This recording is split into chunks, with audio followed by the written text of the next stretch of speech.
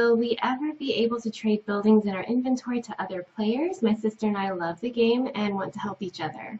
That's that's a good suggestion Yeah. and one that we um, got quite a few times already in the past. Yeah. Um, having things in your inventory, um, like straight out gifting, is probably nothing we will really do, but uh, we'll definitely um, we're definitely always interested in bringing mechanics where you can help other players or interact with each other. Mhm. Um, and also um, we are looking into mechanics to make like use of the stuff that's in your inventory that you might not use yourself. So um, definitely you can stay tuned uh, about this. Yep, yep, definitely.